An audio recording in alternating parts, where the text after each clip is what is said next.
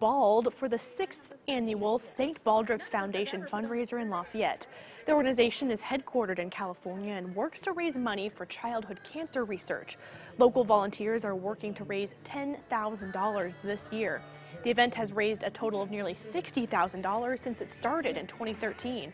Heather Stinger brought the event to Lafayette after losing her mother to cancer. She says it's exciting seeing the awareness it's brought through the years. Have people that show up today not planning to shave their heads and they'll decide to do it and they'll sign up and they'll shave their head on the spur of the moment. The event is 100% volunteer run and Nine Irish Brothers on State Road 38 hosted the event. It included live music, raffle prizes, and of course, free haircuts. West